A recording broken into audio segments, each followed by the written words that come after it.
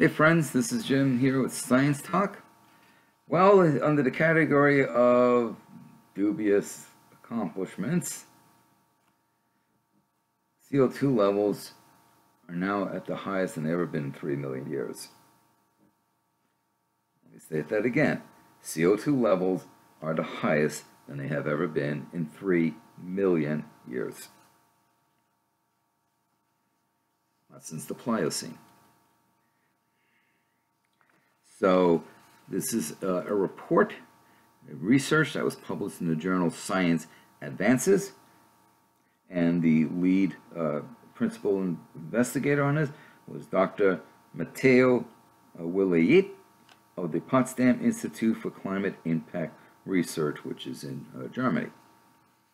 So he and his team have confirmed that carbon dioxide is reaching concentrations unprecedented on any human time scale with CO2 levels in the atmosphere already higher than they have been for at least 3 million years, as I stated at the outset. Their computer simulations, backed up by analysis of ocean sediments that tell the, the story of the changing temperatures as well as the greenhouse gas level, show that before the century's close, the world, this century's close, 21st century, the world will become warmer than at any time in the last 3 million years. I said not since the Pliocene. Now, I have explained this to you before, but for those folks who haven't seen my previous videos, let me tell you what goes on with computer models. Because you often see, well, it's just models, you guys just making stuff up, and it's like throwing shit at a wall and see what sticks. No.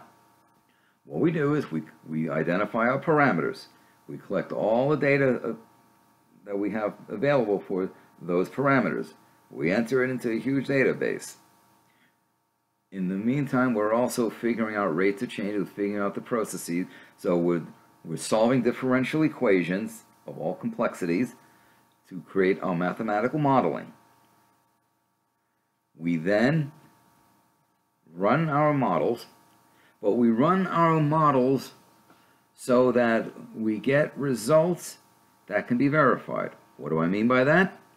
We get we run the models and we look at the results. If the results match what what is already has been observed and on a consistently very high level, then we know we've got the model dialed in. Otherwise, we keep tweaking the model so that, and it might be, you know, you know, you know, little adjustments to the equation, um, maybe an extra term or so, or remove a term, whatever it takes. There's some statistical analyses that check those things as you go along. But we, until we get a the model that predicts exactly what we have already observed, only then do we then see do we then run the projection as to what will happen in the future. We're not just saying, well, let's just toss in this level of this and let's throw in this and let's see what the hell happens. No. We've taken the data that we have, we use them, we make sure the models replicate what's already observed, not just only the data, but the processes involved, the interactions, the trends, etc. Once we're confident with that, then we run them and, and say, okay, what the simulations will be. And granted, there are assumptions, and the assumptions are that things continue as they have already been going along.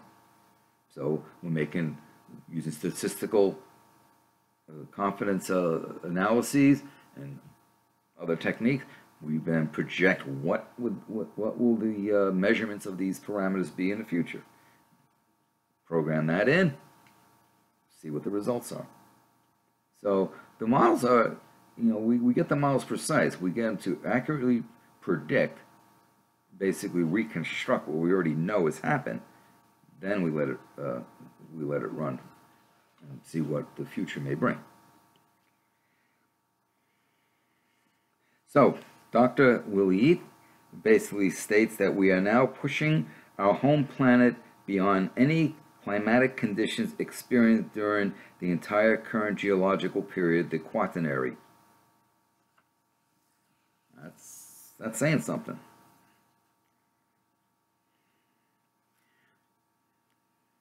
He goes on to say, the Quaternary is a period that started almost 3 million years ago, saw a human civilization beginning only 11,000 years ago. So the modern change we see is big, really big, even by the standards of Earth's history. What is he saying there? The rate of change. Rate of change is nothing like we've seen before.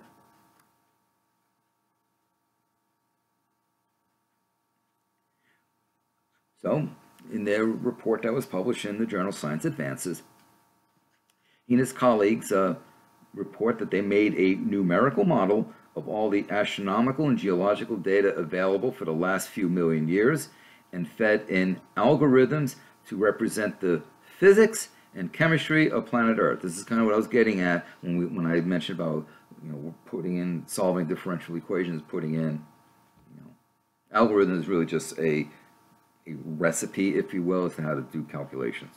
In essence, is what it is. Now you're going to sit there. You're probably wondering, why are we talking? Why are they looking at astronomical data? They had a simulation of a rocky planet complete with active volcanoes that emit carbon dioxide, perhaps uh, sulfur dioxide, along with their magma.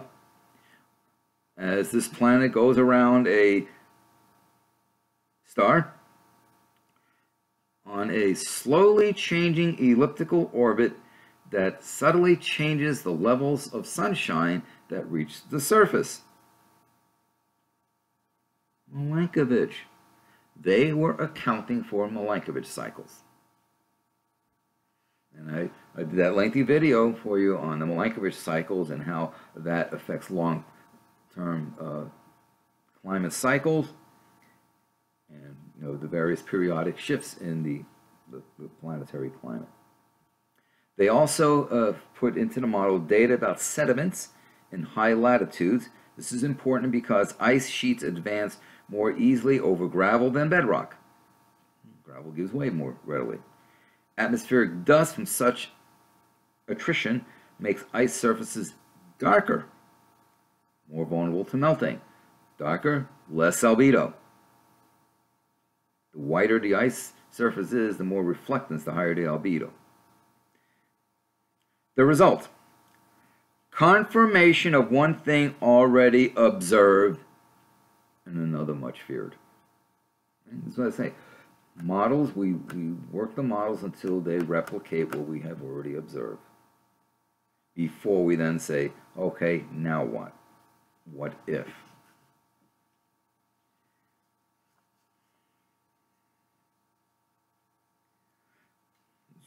As you know, you know, the ratio, uh, the, the levels of CO2 in the atmosphere has gone from 280 parts per million to about 410 today. Basically, we can pinpoint to the start of the industrial age. Now, this, they are uh, uh, asserting that a new ice age seems increasingly unlikely, and other researchers have already uh, indicated the Pliocene data as soon to be exceeded record, which has just now happened. It was close to it. Now, with the slowdown in the AMOC and the slowdown in the Gulf Stream, climate, an ice age can still happen. But we now know, thanks to this new study that I shared with you recently, we now know that even after the conveyor belt shuts down totally, may only take decades to do so, but there's enough thermal inertia, enough mechanical inertia, current flows, that kind of stuff, that there's a lag such that it will be on the order of centuries before the planet noticeably overall begins to cool down such to the point of ice sheets now growing. But what we're doing to the planet, instead of being maybe a three to four century lag, it might be five, maybe six centuries. Don't know. But it's possible, given all the thermal inertia that has been put into the uh, system. Entirely different studies have shown the world to be on course to exceed the 2 degrees C limit. Well, we're, you know, the most people say, yeah, definitely at 1. A lot of studies saying 1.3. We're probably going to blow past 1.5 before the end of the, before 2030. So another 70 years, things keep going as is. We might not just only go past 2, we might go hit 3. Things keep going. So the research confirms other findings and delivers a test of the reliability of evidence from the past. Basically saying this is a good model that they've developed. It also backs up the value of simulation as an increasingly reliable form of climate forecasting. So when people want to sit there and say, well, models are just full of shit, you can tell them, no, you're full of shit. You don't know what you're talking about. And you can, you can then play this tape, this video for them, play this tape here, right? Like on VHS. You can play this video for them where I explain how models are, are created.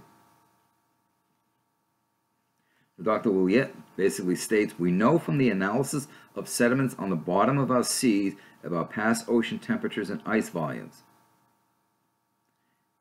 And we are working to fully understand better how CO2 shapes the glacial cycles. It is a breakthrough that we can now show in computer simulations that changes in CO2 levels were a main driver of the ice ages, together with variations of how the Earth orbits around the Sun, the Milankovitch cycles. These are actually not just simulations. We compared our results with hard data from the deep sea, and they proved to be in good agreement.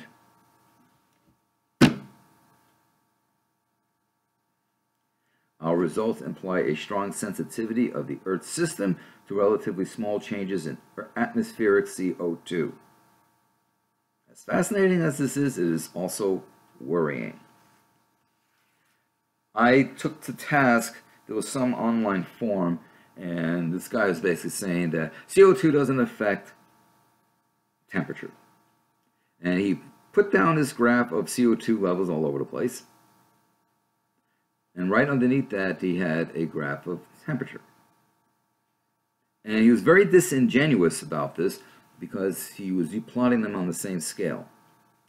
So, of course, the temperature looked like a flat line. No response. Now, anyone who is not not study this sort of stuff will kind of go, ooh, ooh, ooh he, he's on, he's onto something there. I saw that and I called out bullshit, and I called him out on it.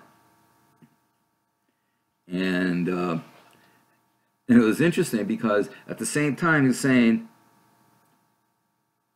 well, the planet hasn't warmed up. You know, not even the one degree that supposedly has already happened, and he included a, a, a, a data that was in table form.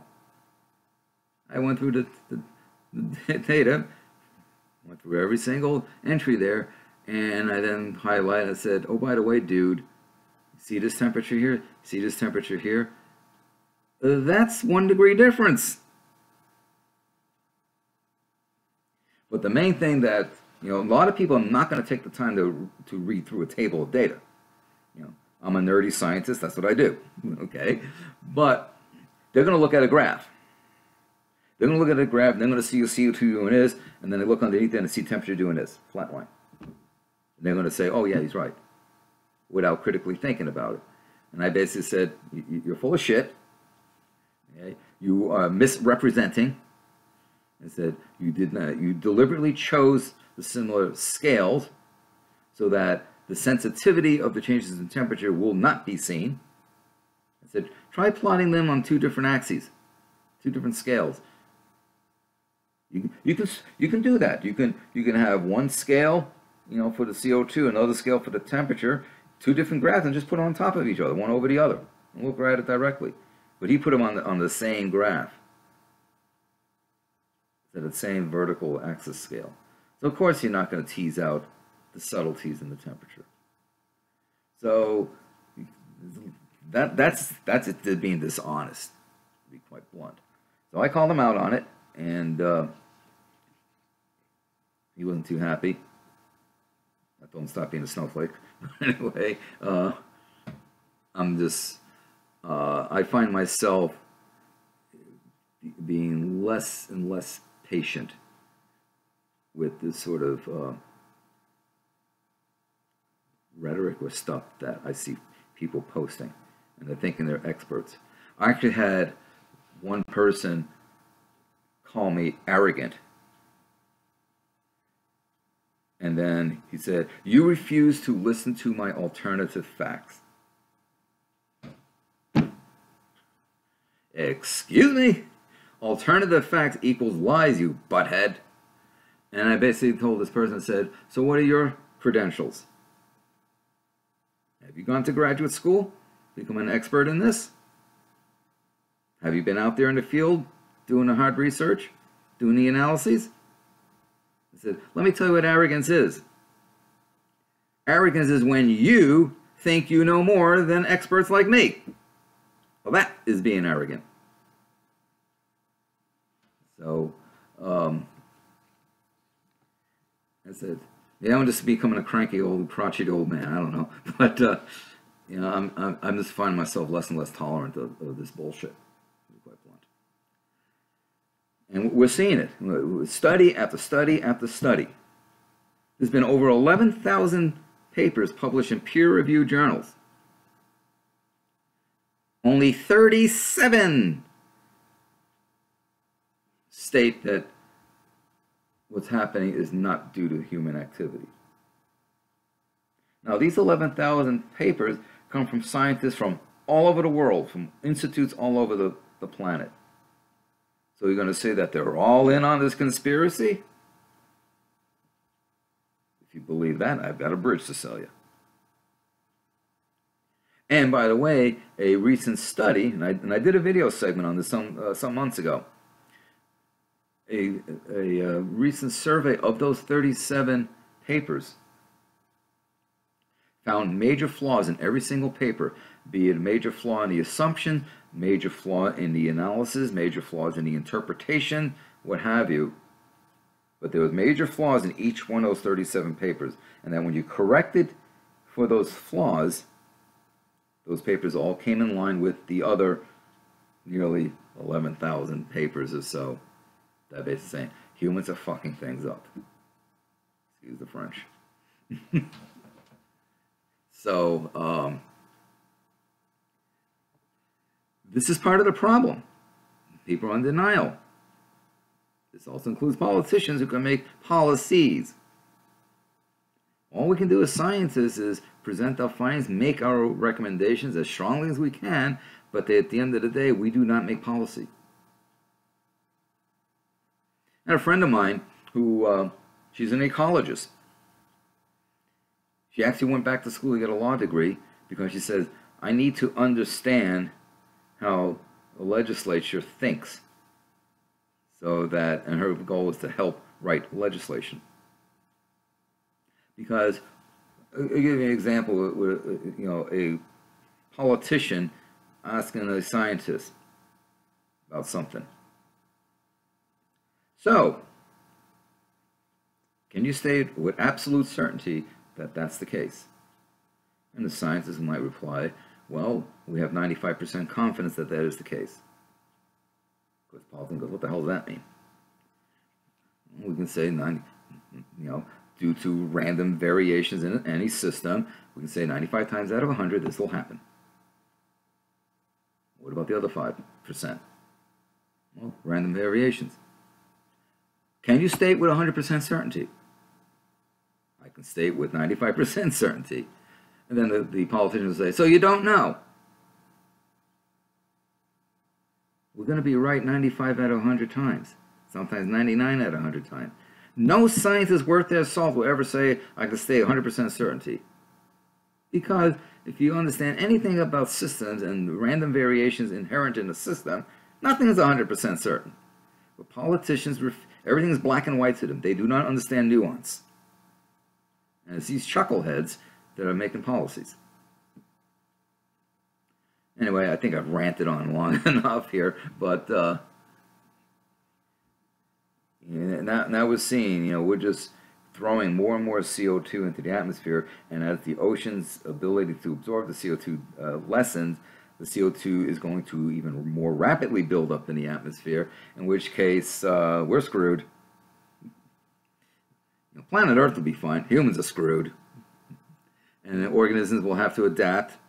There will be some extinction. We are in the middle of sixth extinction but to like every other major extinction event that planet Earth has uh, suffered through. You know, what did uh, Ian Malcolm from Jurassic uh, Park say? Nature finds a way. Nature does. Thank you for your time.